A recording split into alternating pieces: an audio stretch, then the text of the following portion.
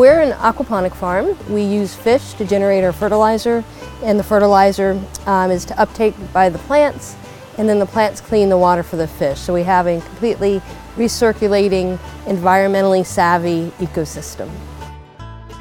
Sounds simple enough, but if you've ever run a farm or had your own backyard garden, you know there's more to it than that.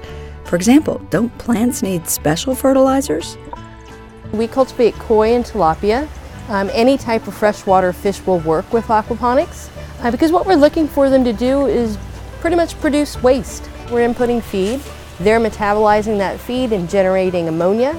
That ammonia then gets converted over to the most usable form of nitrogen, which is a nitrate, um, by a bacteria. It occurs naturally in any type of fresh water. So basically we're just mimicking what's happening in a freshwater environment and using that same science and technology to grow food.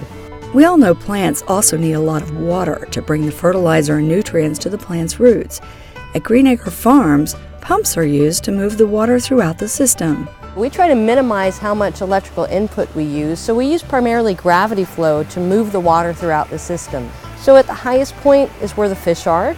All that water is flowing downhill, essentially to where the plants are.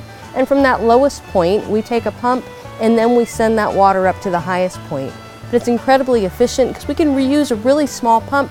Only pulls about 145 watts to move over 12,000 gallons of water. We have several different types of aquaponic growing styles or systems. Primarily what you see in a commercial type setting is what we call deep water culture, uh, which is essentially a floating raft, have the roots suspended down into the aquaponic nutrient-rich water below. Grow mostly leafy greens, lettuces in there. But what we also do is we grow with what's called media-based style growing or, or flood and drain tend to see that more in a backyard, a, a home gardener application. Uh, fruit producing crops go really well, longer term crops go very well in there. Uh, we also have NFT, which is a nutrient film technique. It's very common in hydroponics, but easily adaptable over to aquaponics. Have primarily herbs there. With this approach to farming, Gina and her crew are able to provide a variety of produce for the local dinner tables year round.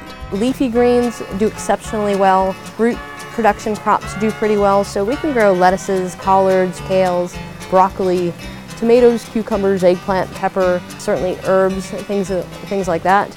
And then we get the added benefit if it grows faster. Um, we don't have that competition that we have in the soil for fertilizer because there's so much of it abundant and there's not a competition for the roots to have to really put out a lot of roots to reach out for those nutrients or for water. It's all right there. So that plant can invest its time and its energy growing up, producing the part we want, instead of growing down.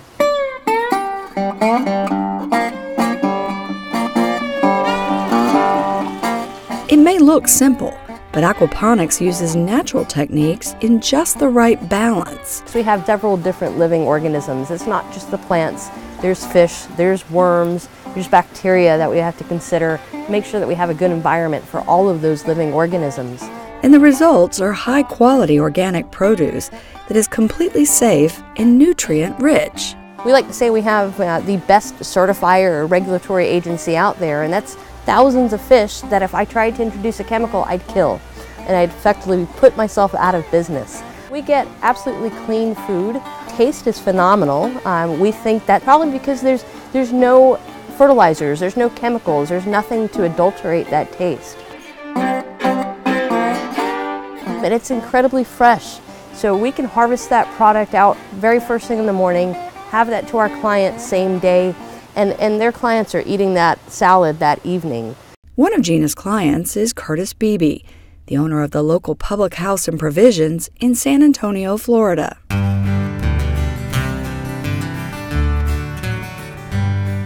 We are a, uh, a, public house of the old style in that we, uh, we serve some great local brews and a couple of nice wines and all of our food is prepared from local ingredients. Part of our core philosophy is that we try to buy stuff from local producers, folks that we know.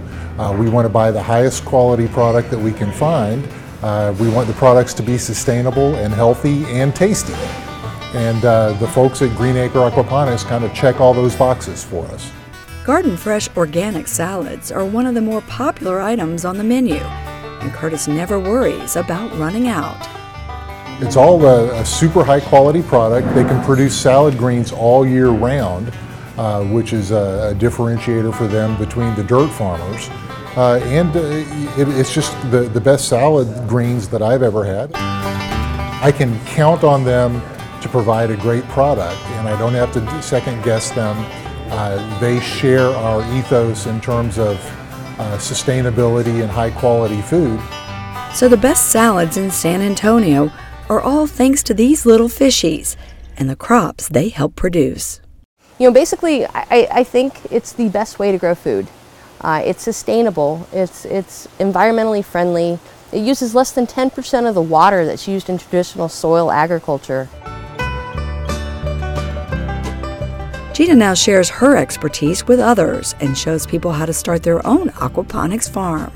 Whether it's uh, you know a one-day backyard workshop where we teach folks how to do this on a small setting and they can grow food for themselves and their family, and we also do it in a larger scale where we teach people in four days how to replicate our business model, um, how to set up a small farm business, how to build the systems. We include construction drawings, essentially everything they need to get this farm business started. We're just really interested and invested in making sure more people learn about this technology, understand it, embrace it like we do, and make a greater impact on our food system.